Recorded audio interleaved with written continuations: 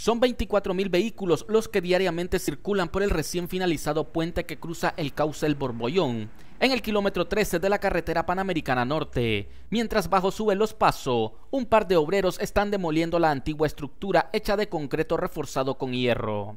Los obreros señalan que solo quedaron trabajando cinco personas, culminando detalles del nuevo puente terminado hace una semana, dos de ellos bajo el puente, donde la antigua estructura es removida con maquinaria pesada, mientras los otros se ocupan de la instalación de los bloques de concreto, que por seguridad separa la pista vehicular de la ciclovía. El nuevo puente tiene un ancho de 34 metros, el cual fue ampliado considerando la futura extensión de la pista que se espera pasar de cuatro carriles a seis.